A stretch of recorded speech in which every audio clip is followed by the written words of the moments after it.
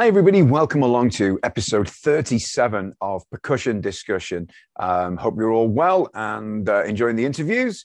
Uh, please check out our social media. You can find us on Twitter, Instagram, Facebook, and of course, our YouTube channel. If you would give us a subscribe, that would be amazing. This way, it means you won't miss any of the interviews that we've got coming up and any that we've already done. Um, and the great news is you can also find um, the interviews in podcast form. Uh, and they are on Apple Podcasts and Spotify. So if you search for North Wales Drum Promotions, you'll be able to find those as well. On to today's guest, uh, an incredible drummer. If you uh, happen to listen to the radio in the 1990s, you would have probably heard more of this gentleman's drumming than you would anybody else. Um, prolific is the word, originally from Allentown in the US, uh, moved over to the UK in sort of early to mid 80s. He's been here ever since, and he has played on so many hit albums and singles you wouldn't believe. It gives me great pleasure to welcome Mr. Chuck Sabo. Oh, my pleasure. My pleasure. Thank, Thank you. It's great. It's great to, great to see you. Now, obviously, as I always start the interviews at this point, and, and I must sound like a stuck record now, but we are in strange, very unusual times for anybody involved in music or the arts. It's it's kind of we're like a luxury item at the moment. Um, so, have you have you managed to keep busy through through lockdown and through this pandemic? Well, yes, I, I'm very very pleased to say, yeah, completely busy. Um, because uh, a, a, little while back, um, maybe a couple of years back, when you know session sessions change, you know, and the people that hire you move move to different positions or retire or things like that. So, so again, we were talking about you have to adapt a little earlier. Again, you have to adapt. So, um, on came the online sessions. So I, I jumped into that. I like engineering and mixing and doing all that kind of thing as well. So I already, I've always had a studio. So I, I adapted to that really quickly. Um, and, and that's the thing that kept going because not just me, obviously, uh, was in lockdown, but but everyone, all the musicians were in lockdown. They, you want to write, you want to record, you want to get things done. So, yeah, songs kept coming, uh, and it's, it's pretty incredible. It's pretty incredible. Um, I'm just fortunate that I have a studio. Yeah. Just you know, there's my house. Here's the studio. So, sure. you know, uh, yeah, very fortunate, uh, but very busy. Thank you. So have you have, you have you actually noticed the difference in work? I mean, has it has it stayed the same for you? Obviously, there's been no live stuff for anybody, but studio wise, you've just kept. I guess you've just just carried on as normal. You know, if anything, if anything, it got a little busier. Right. Again, because because everyone's in lockdown, so uh, everyone else wanted to be busy. So yeah, if anything, it was a little busier. Hmm. Oh, well, so, so you were you were already um, un, un, unawares, of course, but you you you were already perfectly ready for a for a lockdown and, and a pandemic. You, I guess you've been doing this for a few years in your own in your own place, and and people send you stems and all that kind of thing. I guess you do a lot of that these days, and you just play on. I do, I do. Um, it's it's now it's a whole big thing now. It's you know drummers musicians call themselves online session players. Mm. It's instead of just session players. Um, it's a whole it's a whole nother realm. It's um, I, nothing beats going into the studio mm. with a great producer, a great bunch of players, and sit down, I've a listen to the song, and get into creating and and uh, feedback and and uh, that's a great that's a great time. It's a great day, but it's a whole different thing when you, all of a sudden you're by yourself. You're sent a song, and you have you have to be the producer, the engineer, and the and the drummer.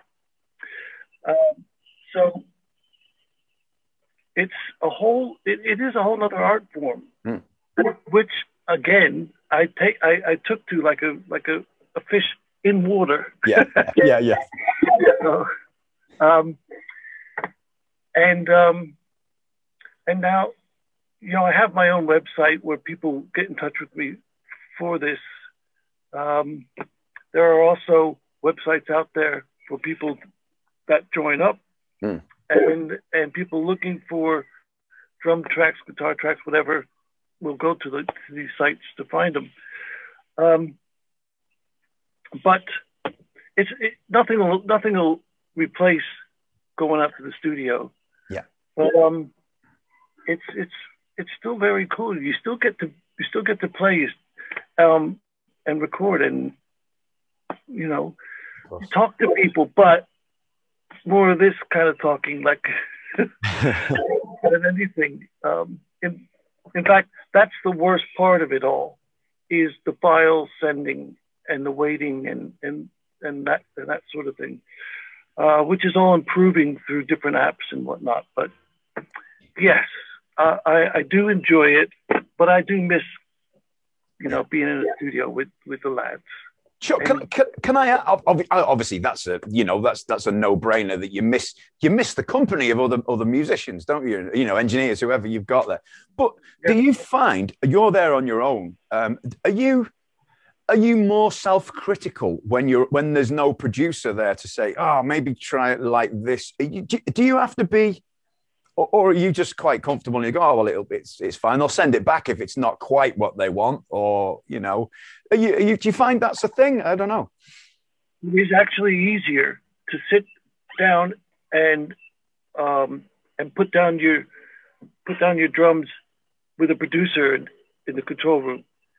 It's a lot easier because right away you do the take and, and you're told if that's what they're looking for or if there should be a little change but uh, without without that person there, you have immediately what you have to think: is this what they would want? Um, and so, but through doing it now for a while, um, I kind of know the questions to ask up front about, you know, do you want it just like it's programmed at the minute, or do you want freedom? You know, how, what would you like me to do? So I basically do just do three takes. Sure. And then I, I, I listen to the takes and I put the best of the three together for me and send that off. Um, and that usually works. Sure. Sometimes there's they'll, they'll come back and they'll need, you know, they'll they'll want a little change. Uh, but I haven't found it any longer to be uh, an annoying part of the job. Yeah. But you know, it's it's because some people really get get into themselves like, oh my God, is that is that right? Or is, would would they like it this way? I know, I know some great musicians that just can't make a decision, you know. so it's I, I personally I like to be directed. I like to be told this is what you'll do and this is how it's going to sound. And I'm sure a lot of people don't, but I feel comfortable in that situation. I like to be told this is how it's going to go, and, and then I'm, okay, that's fine. I don't know if you know. Oh yeah, I, you know that it's great because really your job is simpler mm. in that setting, by absolutely simpler. Um, so, ha- have you ever done any online stuff? Um, n- not not anything of note. Just just. Um, nothing professionally. No, uh, I don't really have the facility to do to do it well. So no, no, definitely not. okay, it just takes doing it once to realize what how much more is needed than just laying down a good track. sure, sure. Well, I suppose you need the sounds need to be good at source for start. You know, it's it's, it's there's a lot. It's not just playing drums, is it anymore? At that point, it really isn't. Mm. It really is. Uh, but everything, everything I've done before is is helping the online work. Mm. You know, just just just seeing what engineers do, how they mic up, what equipment's used, and things like that. You know what to you know what to get. You know how to use it.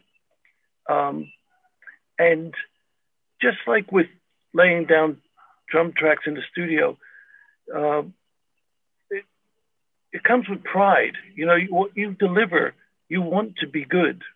You want it to be good. Uh, the problem is that now everybody and their dogs are doing online sessions. So what they have to do to try and get the work is do a drum track for 50 bucks. Mm. I mean, come on, come on. Um, how can you make a living doing that? Uh, you know, maybe if you if you're in your parents' basement and it's pocket money, isn't it? It's pocket money. That's all that it's, is. It's yeah. So so you know, there's a little bit of of pool there from from the people trying to under undercharge and do it really cheaply. But basically, you know, I've discovered you just stick to your guns. You, you give you do quality work, yeah, quality sounds, and and what what what happens is you get the quality songs in. Yeah. You don't get files that are all messed up and and and uh, and, and it's a lot more enjoyable. And um, some great great stuff has been coming in, you know. Mm. So uh, so I yeah I really I really enjoy it. And, and the good thing is, well, uh, doing it this way, you're not limited to British artists or whatever. You, you know, it doesn't matter where you are in the world. You could have musicians every corner of the world, and it's still still going to be good, isn't it? You know, it's still it's still accessible. It's you know. That's it. I mean, you're you're uh, the, the field is opened up to the world now, so it's not just you know who who's going to being a being a A-lister of London you can now people are from all over the world. So it's it's turned out to be um, very lucrative. Mm, that's good. That's good to hear. So look, let's let's go back a, a, a, little way to to where where music all began for you, Chuck. Where talk us through it. Where where did what's the first thing you remember about music and being interested in it? Okay. Um,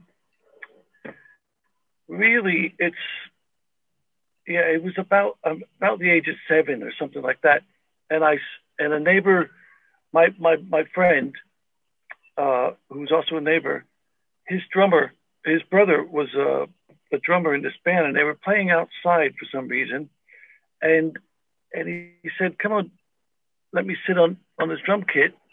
I had to play, and that was it. I ran home, told mom I'm going to be a drummer. That's it. I'm going to be how, a drummer. How was that met? well, it was actually favorably, um, but with, you know, with um, rules, as in, okay, so first what we'll do is get you a pad and some sticks and drum lessons. Mm-hmm. If you stick with that for a year, you'll get the snare drum. If you stick with that for a year, you'll get the drum kit. You know, so yeah. it builds like that, which nowadays I have to say, because I did some teaching and nobody wants to start with the pad or the snare. No. nobody wants to do that at all anymore. Um, but I, I stuck with it, and and from from that time, sitting on the stool of my best mate's brother, it, I never changed or faltered mm. an idea. Well, what I'm going to do. This is what I'm going to do. Um, to my detriment, actually, because I was so convinced I was going to be a drummer, a famous drummer, that I skipped school. I don't need school. Spelling, I don't need to spell. Math, who needs that? you can count to four. I can count to four. I can spell it, and I can play drums. oh, not really. But um, yeah, so so that was that. And then um, Allentown, Pennsylvania had lots of bands playing, but it's all cover bands. Mm-hmm. Allentown is like an hour from New York City, an hour west of New York City, an hour east of Philadelphia. So, of course, as I grew up, I decided I need to move to a, to a larger city to pursue this. So I moved to, to New York. Um, I think I was 20, I was 20. Um, and started playing in, I think at one point I was in six different bands, you know, just answering uh, ads in the Village Voice and things like that. Um, but to, in order to subsidize that, I had to move furniture. Mm-hmm. So move the furniture in the day, and then a few rehearsals at night with the different band with the different bands, um, until until they started um, making a little money. Um, but what what naturally happened was none of the bands took off or got signed or became huge. But people would start to call me to record something for them, or they or a band that did have a deal would hear about this drummer, and so with that I got pulled into the session market. Um, so my dream of being, you know, like in a famous band uh, was was going, but the drummer part was obviously still there. Sure. Um, so yeah, so I, I so I built it up. You know, you just it's a natural thing through the grapevine. Your name gets around. You do your job well, and and you get more calls, better calls, better gigs. Um, eventually did an album for a band called Comateens, a New York band. Yeah. And they took me on a tour to England and France. Um, I believe that was around 80, 1984, 85. And at the time, New York was pretty rough. Mm. I was living in East Greenwich Village, second between A and B called Alphabet City. Building next to me was burnt out, and then another building next to that was burnt out, and so on. Um, and when I so when I got to London, I thought, my God, this place. And in 84, 85, almost half the bands in America, the American charts, were British. Mm. So they were really turning it out here and the place was so safe, London, and they had cushion on the seats on the underground. and you didn't have to turn your rings around or take them off. You know, it was like yeah. I thought, wow. Plus, I love I love the look of it. You know, some it's like I'd been there before or something. Just really took to it.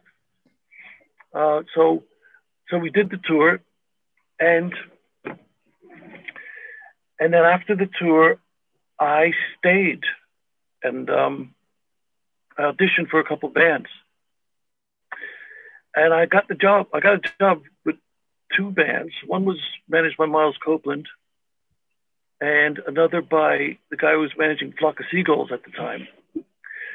So I accepted the job that Miles was uh, managing, and but that was in Glasgow, in Scotland.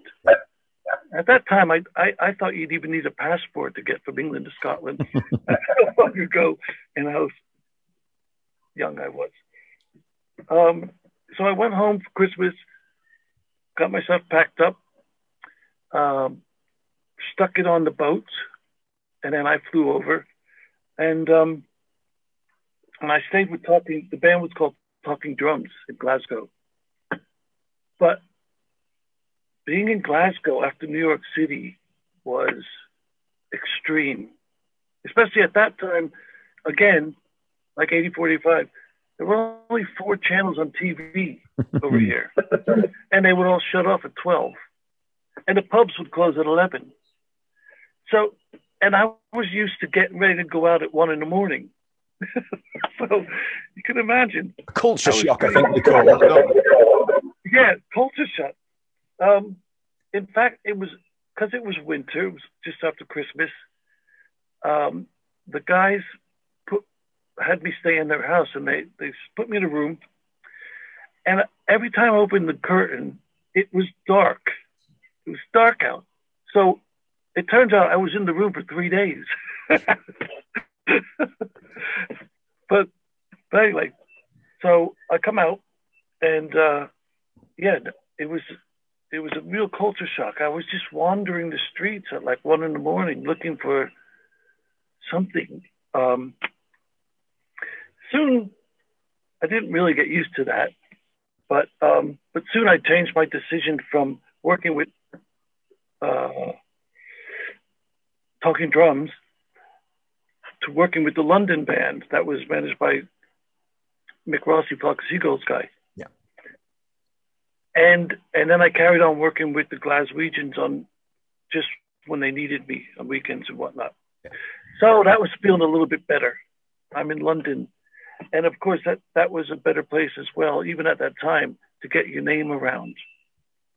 And um, long story short, which is already past that, but uh, the name just, you know, circulated through the grapevine and the jobs got better. Um, I did miss something out. When we did the Comateens tour, on the, when I first came over, um, we met Etienne Daho, who was a major French star. So I ended up doing uh, his tour and his album around that time, 85, 86, around there. Um, so I was already seemed to be in a better place. You know, things were happening um, at a decent pace. Um, and then, uh, yeah, and then it just picked up from there. meeting, meeting uh, the right people, doing the right sessions. I will allow you to answer, ask a question now. well, hey, it's it's all flowing along nicely, to be honest. I mean, you know, uh, uh, there's there's sort of late '80s through the '90s. You were never off the radio with with the tracks you were playing. You must have been. Were you predominantly um, a, studio player, would, would you say? I mean, I don't want to put you in a box, perhaps, but the recordings you played on, it, was prolific, wasn't it? It really was. Um, yes, I was. I definitely was more of a studio player than a live player. Hmm. There was one, um, a great time, a great memory for me when I was do, with Shakespears Sister. Hmm. And so I recorded the Right Said Fred album uh, with with I'm Too Sexy and Deeply Dippy on, and um, and then um, um, on tour with Shakespears Sister, and we were on top of the pops for eight weeks in a row, and then on the ninth week, I had to leave rehearsal I said, I'm sorry, I have to leave rehearsal. I'm still on top of the pops this week because Deeply Dippy was number one then. uh, do you know what? If you, if you don't mind, Chuck, right? It, it's one of those, um, Right Said Fred are one of those bands. It, it, I've secretly always thought, you know what? I like it's totally different to anything else I've ever heard. And it's kind of a pleasant sound, isn't it? It's not it's not it's not offensive. It's just just talk us through that, that album. It's it's what do they call it? I think it's called a guilty pleasure, isn't it? That's what they call it. So there you go. It's yeah. out. Everyone knows. Right said Fred is my guilty pleasure. I think it's the hair. A, had a lot of pleasure from Right said Fred. I have to say, um, it was a great combination. The producer um, Tommy Tommy. God, his, his second name just left me. It'll come back. Hmm. Um, it was he was a DJ, so it was just a really good combination at the time. Um, he had great ideas for that for that very moment in time. And um, yeah, I mean, songs like like "I'm Too Sexy," it's just it's not just fun, you know. It's just it's fun doing the videos was just fun. It was all just fun. Um, Deeply Dippy was actually, you know, actually had some horns and and and uh, a little bit of a nice arrangement to it. Uh, all live playing, you know, which is really cool as well. Um, the, the, the lads are great. Really? So there wasn't anything bad about that at all. Mm. Mm. Um, oh God, I wish I wish that name Tommy D. Tommy D. I believe. Um, so the problem is there was a, a little issue with with Tommy and the band for the next album, and and and he didn't follow on. So you know that was the album. Yeah, that first album. That was. It's a good, fun album, and do you know what? The production on it is. I can describe it as a lovely, warm sounding album. That it's just, and I think that's partly due to the voices, just the the depth of the voices. You know, it just it just works. It's fun, and it was all over the radio, wasn't it? it for for such a long time, it was huge. Um, it was done at Red Bus Studios, which is um, it, it, it's a bit of a classic place. Mm. and of course, it was the days of still tape, so nice and warm, nice and warm sounds. Um, and it was, it was absolutely radio friendly. It was just, you know, some things just happened in the right time, in the right sound, and and that was one of them. Yeah. It did just it it, it, it didn't miss it didn't miss one little crick, you know, where it could land. Um, so yeah, hearing it on the radio made you smile, you know. Absolutely. Do you know what it was? I remember, um, and it came back to me this thought this morning. I, I, remember once just laughing to myself. I looked through my. I, I don't really have much of a CD collection anymore, anymore, but when I did, I remember seeing it sitting next to the Chick Corea acoustic band CD. right said Fred, and I was thinking, oh, I hope nobody ever sees this. but you know, hey, you can't knock it. The the you know, it's it's there. It's it's part of history, isn't it? And um, case of of um, you know the grapevine. Um, I'm asked I'm asked frequently from young players about you know getting work and whatnot, and there is no shortcut. The grapevine, um, and I was working at Redbus with Martyn Ware from Heaven 17. No, from oh my god, I'm sorry. That's okay. Uh, but uh, Human League. Oh yeah, God. Yeah. and um, so we were doing an album called British Electric Foundation, and Tina Turner did a track, Billy Preston did a track, Terence Trent D'Arby did a track. Um, Chaka Khan did a track. Um, Green from Scritti Politti did a track. So it was just bang, bang, bang, bang, bang. That didn't hurt the CV no. at all. See, it was like a house band with all the different vocalists, yeah? Yeah. Yeah. Yeah. yeah. Um, and uh, and Martyn was with seeing the manager of Right Said Fred. Mm. So there you go. So she was there hearing hearing the band and whatnot, and it, it was it was basically that band yeah. that went on to do Right Said Fred, except for the players in Right Said Fred. Yeah. So did you find at this point it, it was literally one gig to the, another? You know, one one had finished, or or something I don't want to say better would come along, something different would come along that, that you thought, yeah, I mean, for example, Natalie Imbruglia was like the sweetheart of the 90s, wasn't she? She was huge, you know. Did, was that how was that after Right Said Fred? It was because you, you did, if I'm right, you did all everything she's ever done. You've done. I much. did. Yeah. Yeah. Um, and and I was her uh, musical director on tour. Sure. Um, so that was uh, let's see how did that happen. Mark Fox. That's where I was at Heaven 17. That's Mark Fox. Right. Um, the percussionist from from there. He was A and R guy at mm-hmm. RCA that signed her. So he called me in to you know discuss putting a band together for this. Uh, Phil Thornalley produced it, and he actually co-wrote Torn. Mm-hmm. Um, but that was, uh, yeah, that that was just one of those things. You you, you can't predict how great that's going to turn out.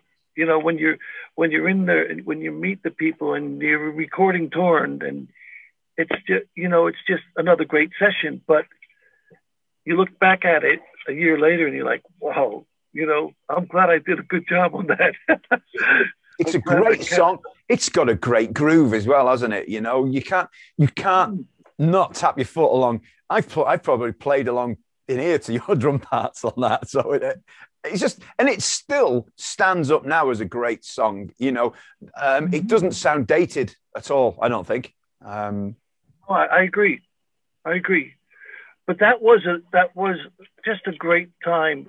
Like like you said, it was almost yeah, one session to the next, you know, one call mm. from the next.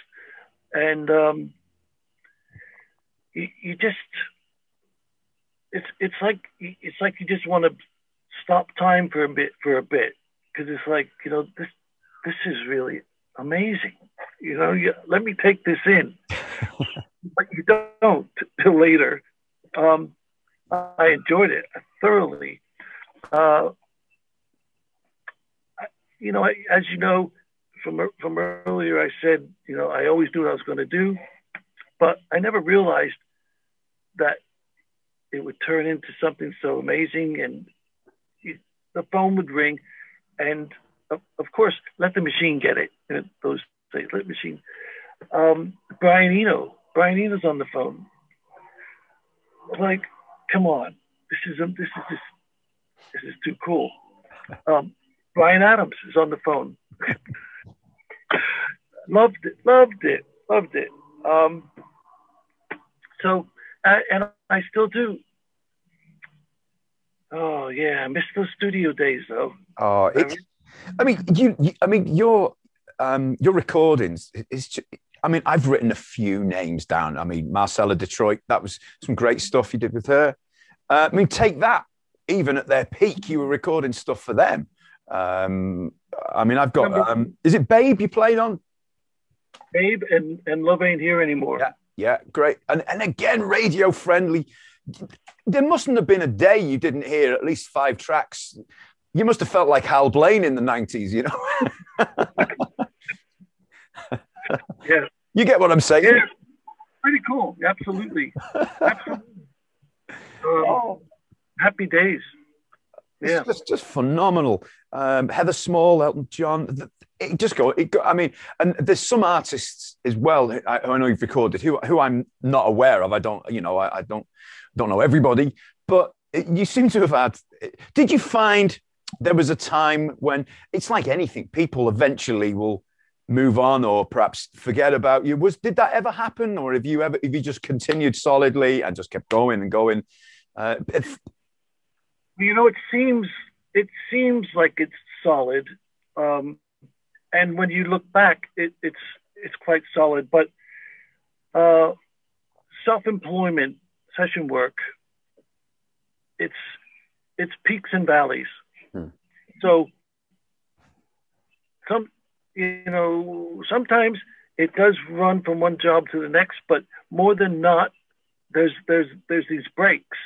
You know, there's sometimes there's these breaks where you you're checking your phone, like and thinking, what did, did I did I piss somebody off?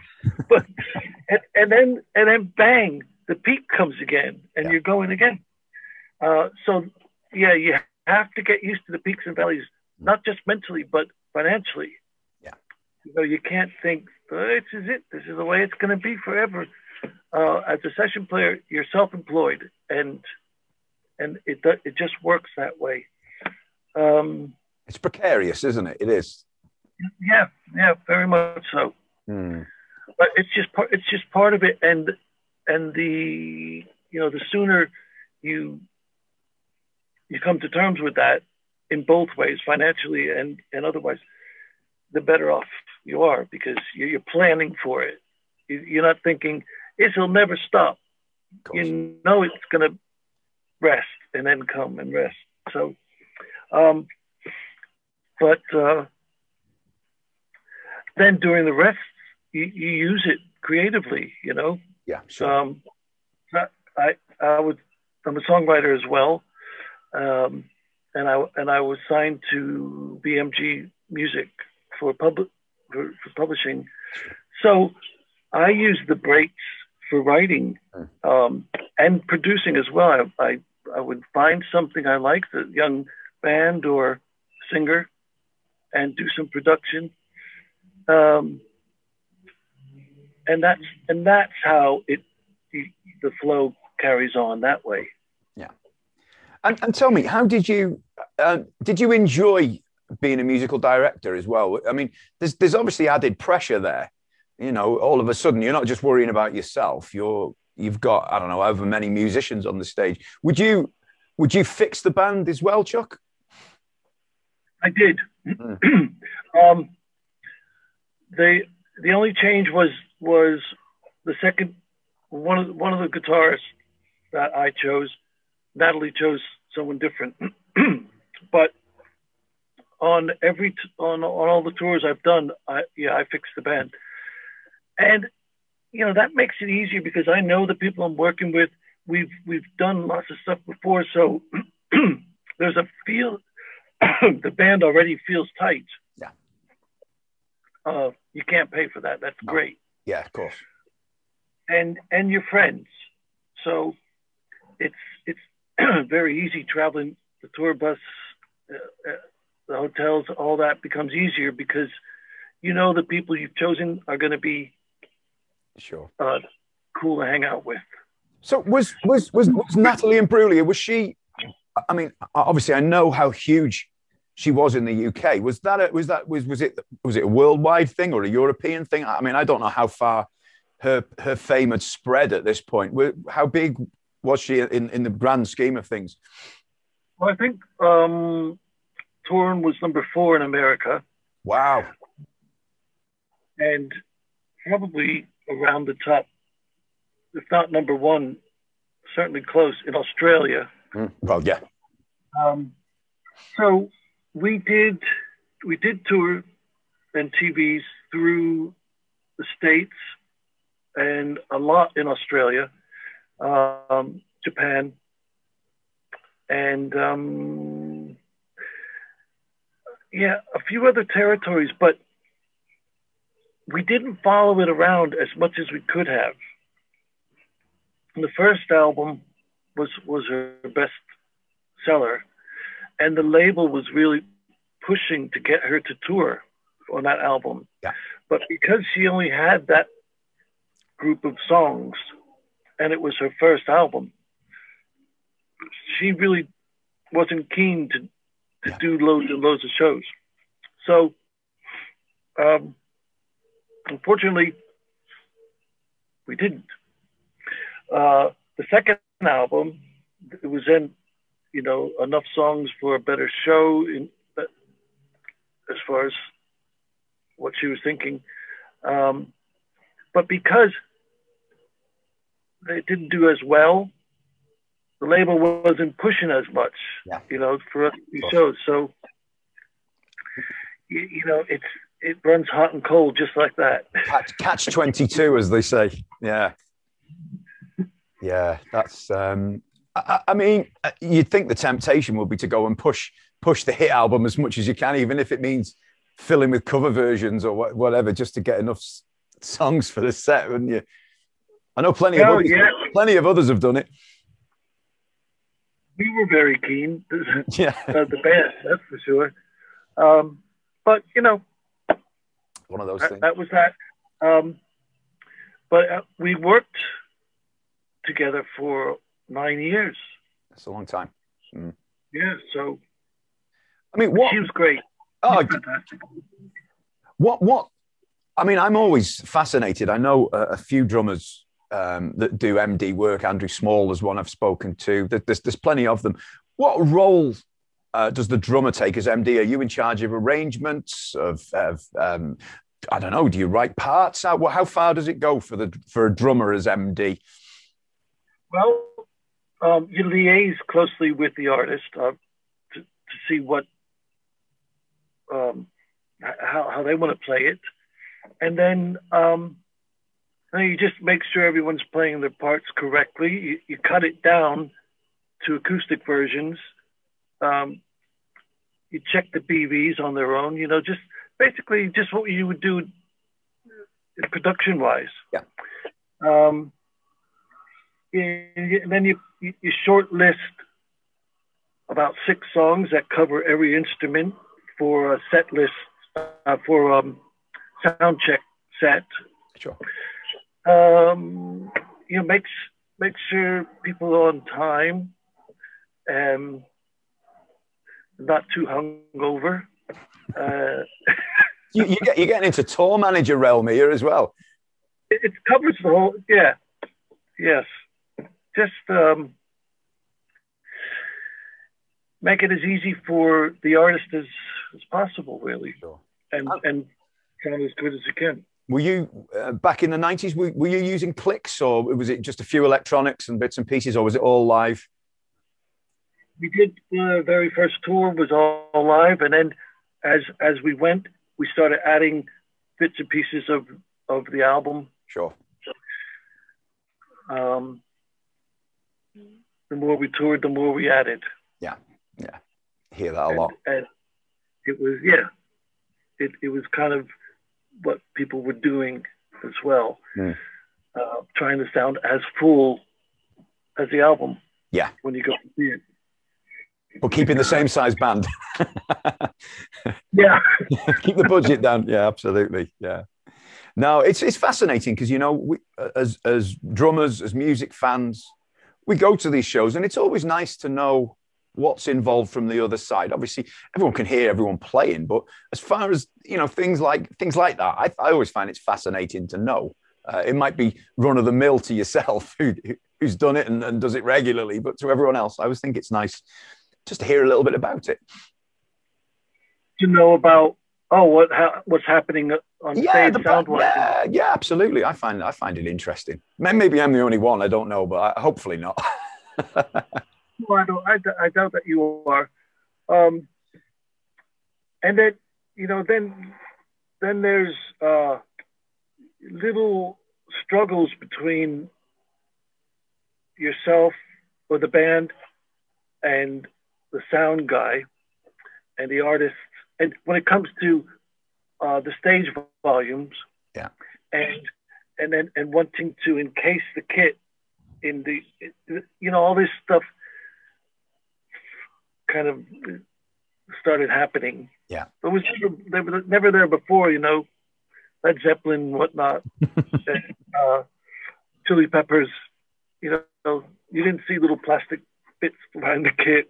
oh, well, do you know, just to put this, just to put this into comparison, um, I had a lovely chat with Simon Kirke, obviously Free and Bad Company, and I asked about the Isle of Wight festival in 1970 to 600,000 people.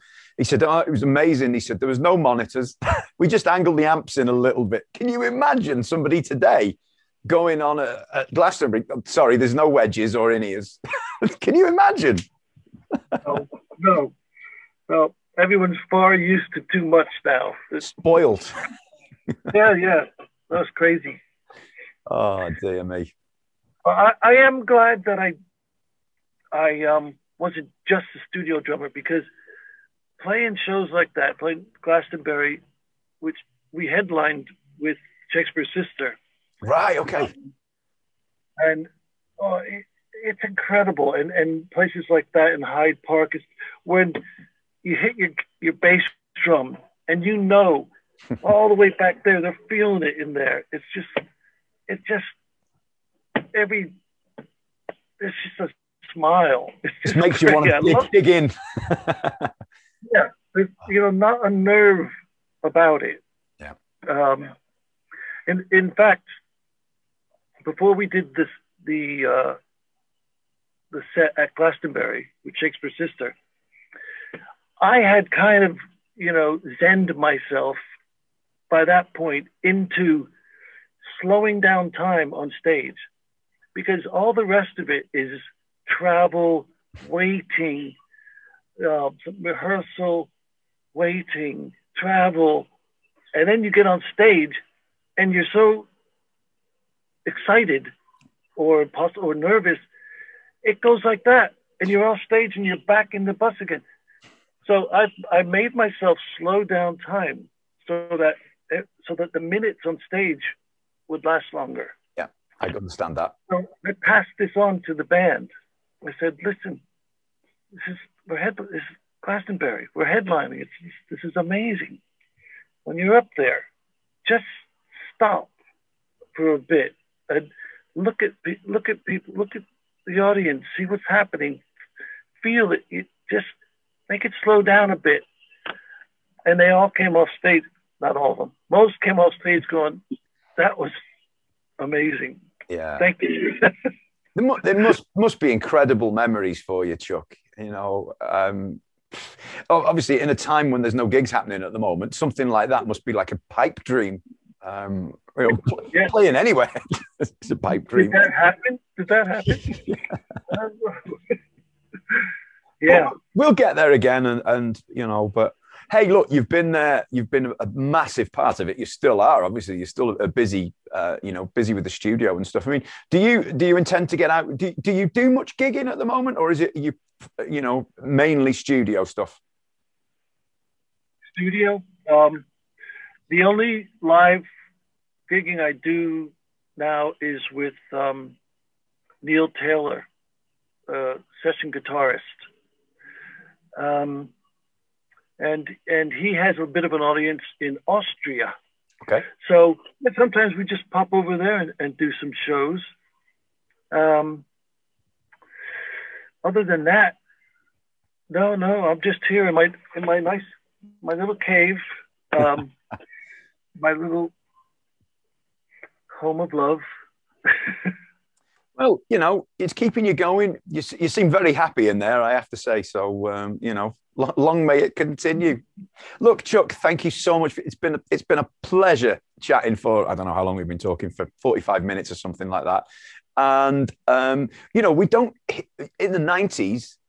Your name was everywhere, and, and and like things do, things drop off, and you're like, oh, I don't don't know that name, and um, as soon as I heard your name, I was like, yes, please. I want, I want to, let's have a chat, you know, because, uh, so it's nice for people to see that you're still out there, still doing.